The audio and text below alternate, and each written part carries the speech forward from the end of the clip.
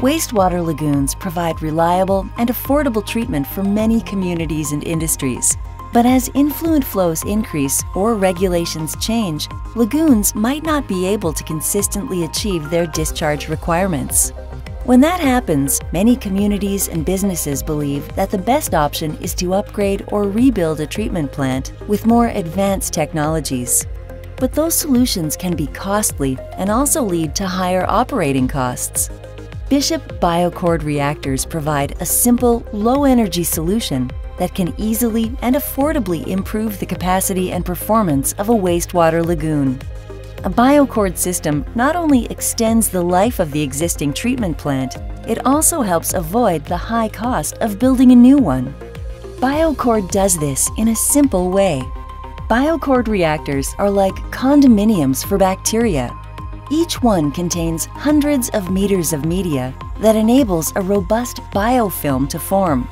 This attached growth process achieves a much higher concentration of bacteria than an ordinary lagoon cell and significantly improves the removal of nutrients and organics.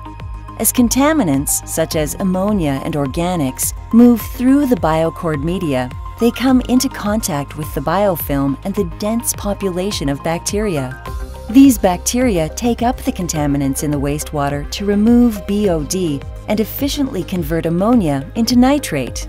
This is particularly important in the winter when cold water conditions cause biological activity to slow and lagoons struggle to achieve adequate ammonia removal. The BioCord reactors maintain an active microbial population that is proven to achieve ammonia removal of 90% or greater even when the water temperature is as cold as 1 degree Celsius. BioCord also helps treatment plants to resist washout, a condition where high hydraulic loading during periods of peak flow or wet weather causes microbes in ordinary activated sludge plants to be flushed out of treatment cells. Since BioCord's biofilm is attached to the growth media, it remains in the system to continue providing treatment and helps reestablish the population of suspended bacteria to optimum levels. BioCord reactors can be quickly installed directly into a treatment lagoon, often while it remains in operation, which helps keep costs low. Baffle curtains can also be added to the BioCord cell to maximize process control and contact time with the biofilm.